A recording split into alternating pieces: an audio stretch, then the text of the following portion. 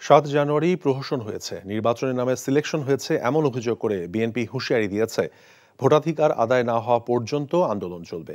দলের সিনিয়র নেতারা বলেছেন, সরকার বিদেশ থেকে যতই সার্টিফিকেট কিনুক, জনগণ এই সরকারকে গ্রহণ করেনি, করবেও না। সংসদ ভেঙে দিয়ে নতুন নির্বাচনের দাবিও জানিয়েছেন তারা।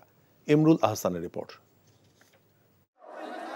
শহীদ রাষ্ট্রপতি জিয়াউর রহমানের আটাশিতম জন্মবার্ষিকী উপলক্ষে জাতীয়তাবাদী টেক্সটাইল ইঞ্জিনিয়ারিং অ্যাসোসিয়েশনের উদ্যোগে দুস্থদের মাঝে শীতবস্ত্র বিতরণ করা হয়।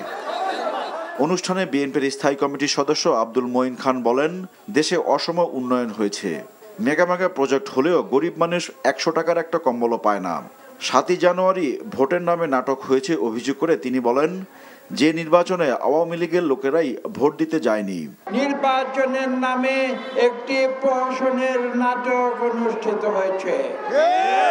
বাংলাদেশের কোটি কোটি মানুষ সেই নির্বাচনকে বর্জন করেছে। এখানে ইলেকশনের নামে সিলেকশন হয়েছে।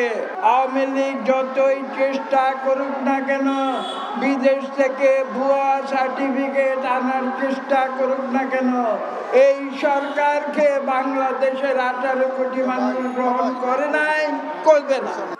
সরকার নৈতিকভাবে পরাজিত হয়েছে মন্তব্য করে বিএনপি নেতারা বলেন প্রশাসনের ওপর ভর করে বেশি দিন টিকে থাকা যাবে না। শেখ হাসিনা প্রধানমন্ত্রী হিসেবে পদত্যাগ করতে হবে।